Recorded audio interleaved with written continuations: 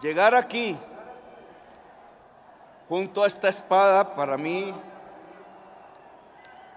es toda una vida, una existencia. Esta espada representa demasiado para nosotros, para nosotras. Y quiero que nunca más esté enterrada. Quiero que nunca más esté retenida. Que solo se envaine, como dijo su propietario, el libertador, cuando haya justicia en este país.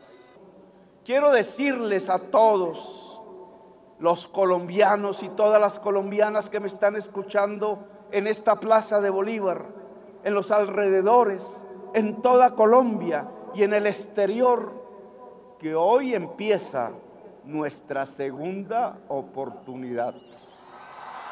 Es la hora del cambio. Hoy empieza la Colombia de lo posible. Estamos acá contra todo pronóstico, contra una historia que decía que nunca íbamos a gobernar, contra los de siempre, contra los que no querían soltar el poder, pero lo logramos. Hicimos posible lo imposible. Hoy empezamos a trabajar para que más imposibles sean posibles en Colombia. Que la paz sea posible.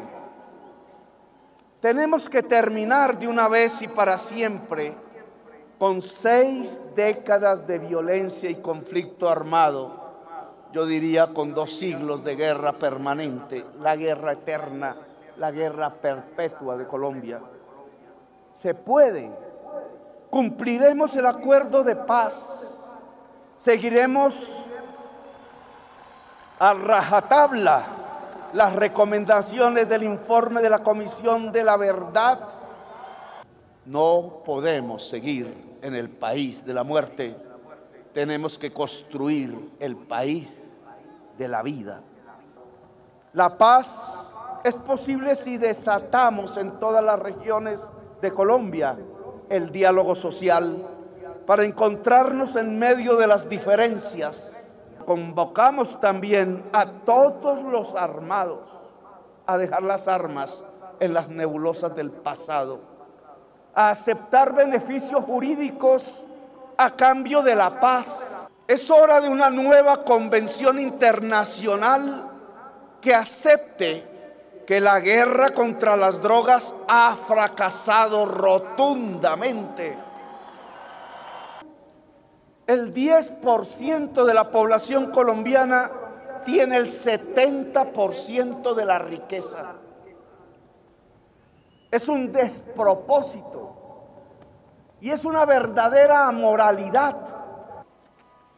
La igualdad es posible si somos capaces de crear riqueza, de generar riqueza para todos y todas. Y si somos capaces de distribuirla más justamente. Por eso proponemos una economía basada en la producción, el trabajo y el conocimiento y es por ello por lo que proponemos una reforma tributaria que genere justicia. Colombia es un país que debe y puede gozar de soberanía alimentaria para lograr que el hambre sea cero. El cambio climático es una realidad y es urgente.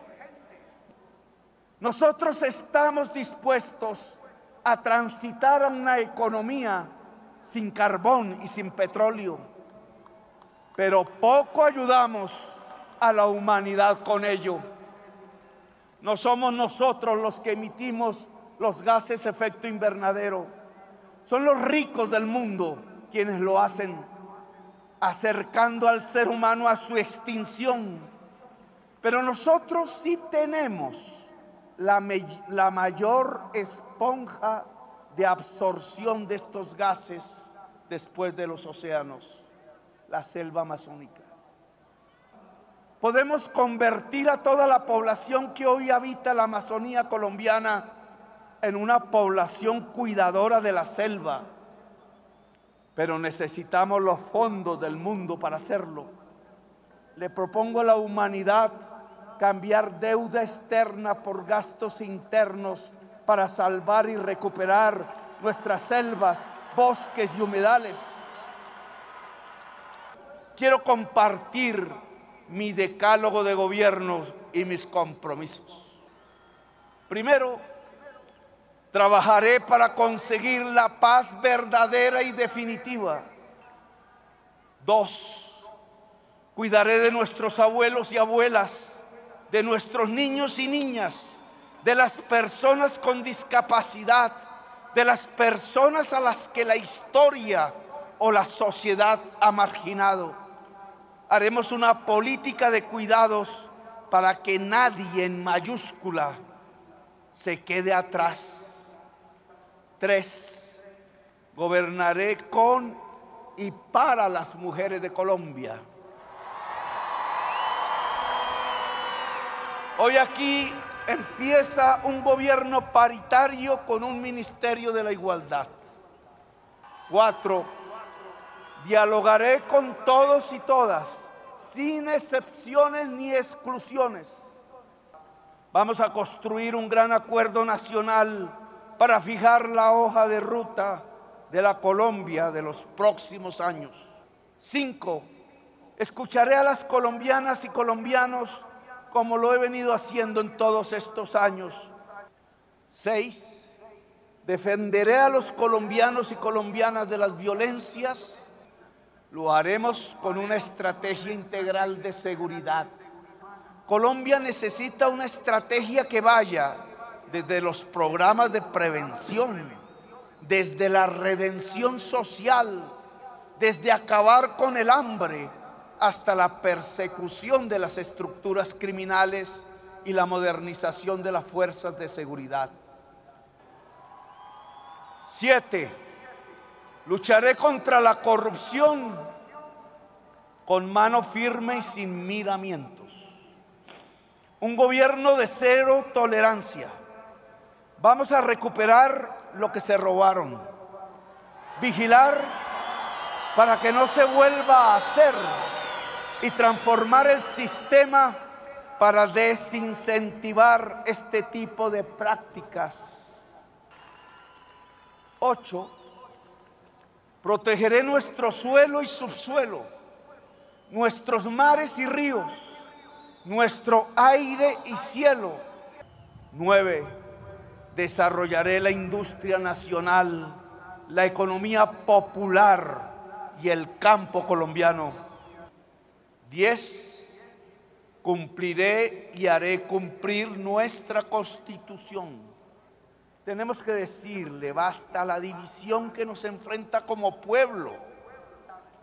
Quiero una Colombia fuerte, justa y unida.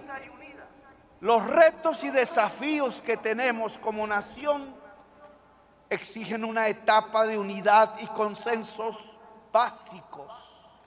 Es nuestra responsabilidad.